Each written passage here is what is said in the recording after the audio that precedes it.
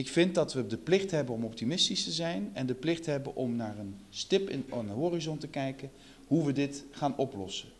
Ik zal proberen daar een aantal elementen voor uh, aan uh, te dragen.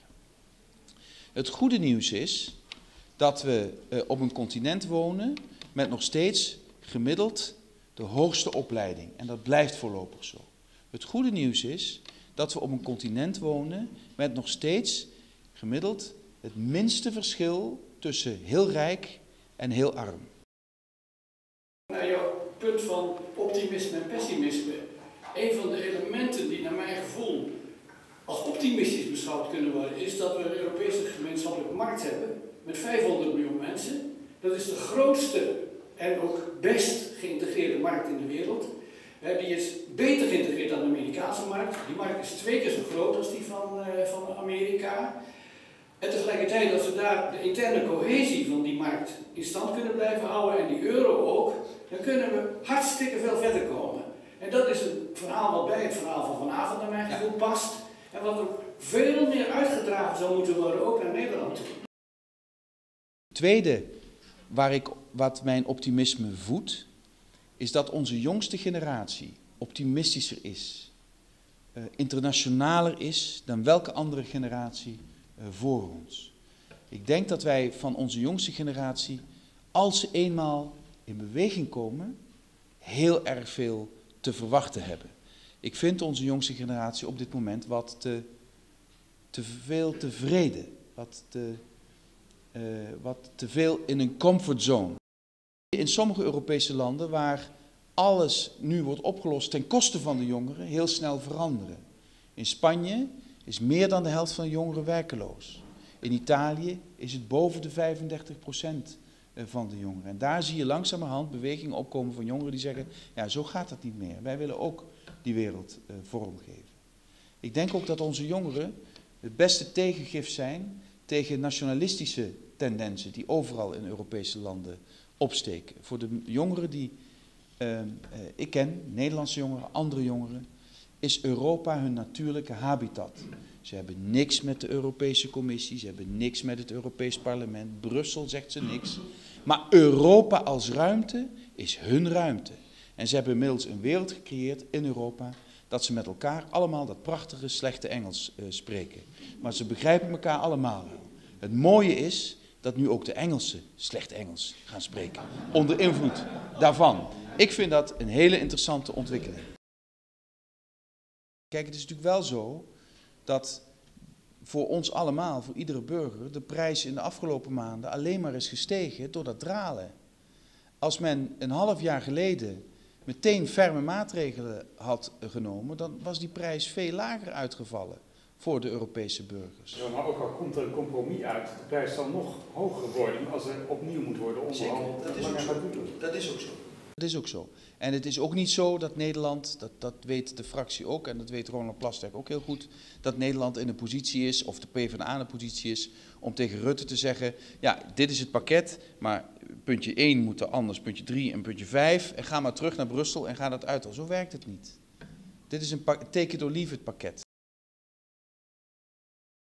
Ik zou graag dat je een verbinding maakt tussen je visie en die opstapeling van problemen die er nu ligt.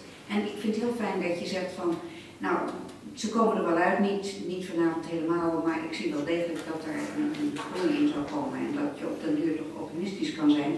Maar hoe, zie, hoe kijk je dan op dit moment aan tegen die opstapeling van problemen? Het is echt zo dat, dat, dat wat we met z'n allen hebben opgebouwd is hartstikke stevig. Staat als een huis. Kan tegen een stootje, maar is niet onverwoestbaar als we geen maatregelen nemen om ons land to toekomstbestendig te maken. Het is onjuist om te zeggen dat politici niet luisteren naar de mensen. Politici zijn zo bang dat ze alleen nog maar luisteren naar de mensen. En niet meer bereid en in staat zijn leiding te geven. En dat is een klem waarin de samenleving zit. Alle Nederlanders roepen om leiding. Maar ze willen wel dat de ander geleid moet worden.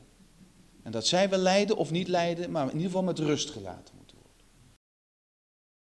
Kunnen we nou toch die Europese Commissie weer duidelijker op de kaart krijgen? En niet alleen voor een financieel en economisch sterk Europa, maar ook voor een sociaal sterk Europa. Ik denk aan werkgelegenheid eh, en, onderwijs en dat soort zaken. Maar het zou zo goed zijn als we een beetje voorbij de eurocrisis ook kijken naar uh, onze visie op een, op een beter, een, een meer sociaal bestuur van de Europese Unie. Ik denk dat dat niet gaat lukken met alle lidstaten tegelijkertijd. Uh, ik denk dat we naar een Europa toe gaan waar een kleinere groep van lidstaten grotere stappen voorwaarts zal maken op dat terrein. In de hoop en de verwachting, en ik denk een redelijk realistische verwachting, dat andere lidstaten zich daar iets later bij aan gaan sluiten. Ik denk dat als u als uh, volksvertegenwoordiger een offer vraagt van een gemeente van de middenklasse in uh, waarbij u zegt, nou 10, uh, wordt ook goed, 20% inleveren de komende periode, dan zult u er waarschijnlijk niet aan ontkomen om die mensen, net zoals die meneer Matloff die in de gevangenis is gegaan, om die te verantwoording te roepen over hun gedrag. Als u tenminste meent dat het casino-gedrag van hen volstrekt onverantwoord is. Ik vind dat het toptarief in de belasting naar 60% moet. Voor mensen die meer dan een ton verdienen in Nederland. Ik vind dat de mensen die gewoon salaris verdienen in Nederland moeten zien dat mensen die echt veel meer verdienen, meer bijdragen aan ons collectieve uh, probleem. Ik moet trots zijn op wat ik heb kunnen bereiken. Als mijn opa en zijn generatie niet gedaan hadden wat ze gedaan hebben, was ik nu ook mijnwerker. Of hoogstens, als het heel erg mee had gezeten, pastoor. Maar meer zat er voor mensen met mijn achtergrond gewoon niet in. En vandaag de dag zit het voor iedereen erin. Soms met wat achterstand, dat je talent uiteindelijk erdoor breekt. Maar je moet de mensen wel blijven helpen. Dat gaat niet vanzelf. Dat gaat nooit vanzelf. En zolang dat dat nodig blijft, blijf ik lid van de Partij van de Arbeid. Dan wil ik dat deze beweging dat ook voor elkaar krijgt in Nederland. Laten we toch eens een keer zeggen dat het zo niet meer Ja, maar jij dan ook.